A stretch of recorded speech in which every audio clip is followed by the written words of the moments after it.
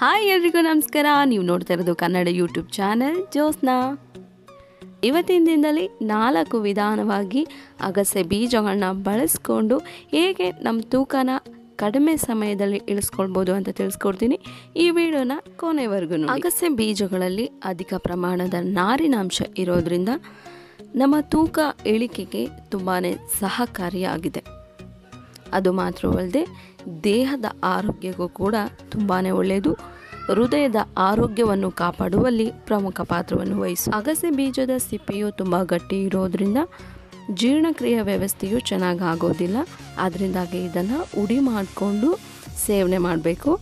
ಈಗ ನಾವು ಇದನ್ನು ಗ್ರೈಂಡ್ ಮಾಡ್ಕೊಳ್ಳೋಣ.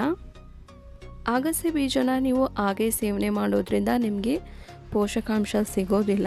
ಅದಕ್ಕೋಸ್ಕರ ನೀವು ಉಡಿ ಮಾಡಿ ಸೇವನೆ ಮಾಡೋದ್ರಿಂದ ತುಂಬಾ ಒಳ್ಳೆಯದು ಜೀರ್ಣಕ್ರಿಯೆ ವ್ಯವಸ್ಥೆ ಕೂಡ ತುಂಬ ಚೆನ್ನಾಗಾಗುತ್ತೆ ಮತ್ತು ಹೃದಯದ ಆರೋಗ್ಯಕ್ಕೂ ಕೂಡ ಈ ಅಗಸೆ ಬೀಜ ತುಂಬಾ ಒಳ್ಳೆಯದು ದಿನದಲ್ಲಿ ಒಂದು ಚಮಚಕ್ಕಿಂತ ಹೆಚ್ಚು ಅಗಸೆ ಬೀಜನ ಸೇವನೆ ಮಾಡಬೇಡಿ.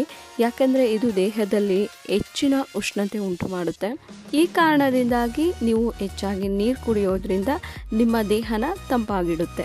ಈಗ ಫ್ಲ್ಯಾಕ್ ಸೀಡ್ಸ್ನ ಗ್ರೈಂಡ್ ಮಾಡ್ಕೊಂಡಾಗಿದೆ. ಮೊದಲನೆಯದಾಗಿ ಒಂದು ಲೋಟ ನೀರಿಗೆ ಒಂದು ಚಮಚ ಅಗಸೆ ಬೀಜದ ಉಡಿಯನ್ನು ಹಾಕೊಳ್ಳೋಣ.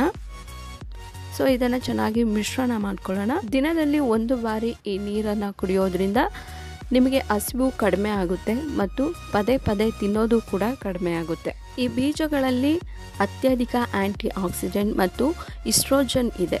ಇವೆರಡೂ ದೇಹದಲ್ಲಿನ ಕ್ಯಾನ್ಸರ್ ಅಪಾಯನ ಕಡಿಮೆ ಮಾಡುತ್ತೆ. ಇನ್ನು ಎರಡನೆಯದಾಗಿ ಲೋ ಫ್ಯಾಟ್ ಮೊಸರು ತಗೊಂಡಿದ್ದೀನಿ. ಇದು ನಾನೇ ಮನೆಯಲ್ಲಿ ಎಪ್ಪಾಕಿರೋದು.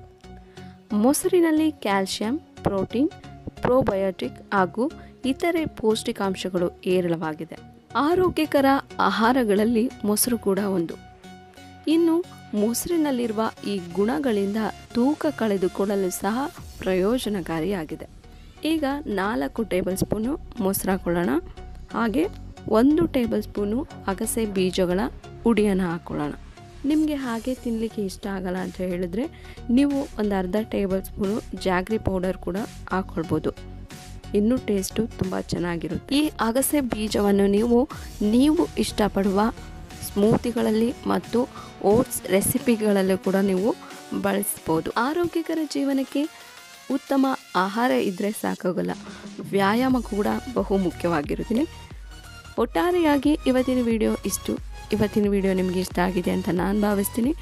ಈ ವಿಡಿಯೋ ಇಷ್ಟ ಆಗಿದ್ದರೆ ಈಗಲೇ ಈ ವಿಡಿಯೋನ ಲೈಕ್ ಮಾಡಿ, ಶೇರ್ ಮಾಡಿ ಹಾಗೂ ಕಮೆಂಟ್ ಮಾಡೋದನ್ನು ಖಂಡಿತ ಮರಿಬೇಡಿ. ಧನ್ಯವಾದಗಳು.